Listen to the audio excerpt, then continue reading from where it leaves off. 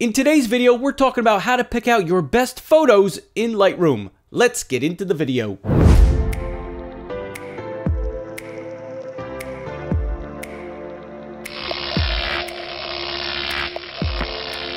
So when you first bring photos into Lightroom, the first thing that I always do is go through and pick out your keepers. Not every photo you take is going to be awesome, fantastic, nor do you want to edit it all. So what I do is I go through and I pick out my keepers and select just the photos I want to edit. So let's jump over to Lightroom and I'll show you how I do that.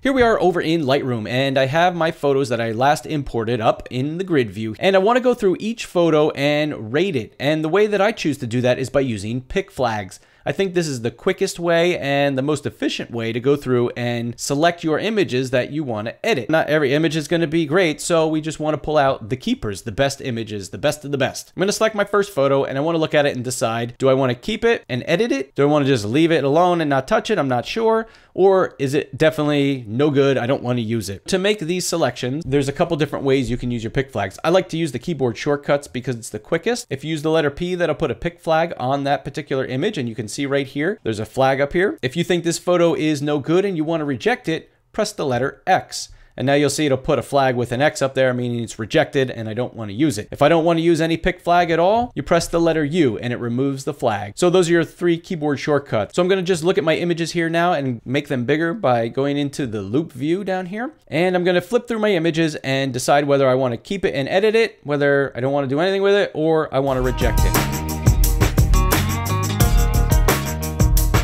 Okay, so there we go. I've gone through and I've picked a couple images. If I go back to my grid view and I scroll through my images here, I can see the ones that I picked have a little flag in the corner. So those are the ones that I'm gonna wanna go through and edit. Some of them I rejected and others I wasn't sure about, so I just left them blank. So now that we have the images we wanna edit selected, we can then make collections, we can filter them. There's a lot of different ways that we can view them. So for example, in this catalog here, if I wanted to see just the images that I put pick flags on, I'm gonna come down to the filter bar down here and here says filter. And this is all the different ways you can filter your images. So if I select the flag here, it's gonna show me just the images that I picked. And those are the ones that I'm gonna wanna go ahead and edit. So I think it's worth mentioning real quick that there are other ways to rate your images. You can use stars. I found that it just took more time to rate them that way. And at the end of the day, I just wanna know, is it a keeper or is it eh? And sometimes you end up with more keepers than you need, but I think it's just quicker to use the pick flags. I will use the colors for different things. Sometimes I'll use red. If I have two images that are similar and I say I need to swap somebody's face or something in Photoshop,